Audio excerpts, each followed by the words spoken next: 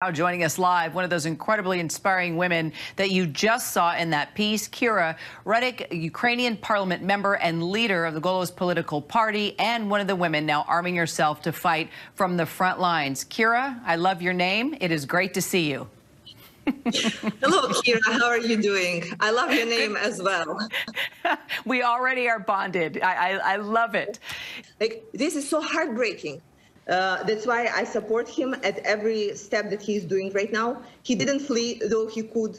He didn't uh, bend, though he could. And he is right now showing the world uh, how much of resistance Ukrainian and Ukrainian leadership could be. Uh, how much of resistance Ukrainian and Ukrainian leadership could be. And this is fantastic.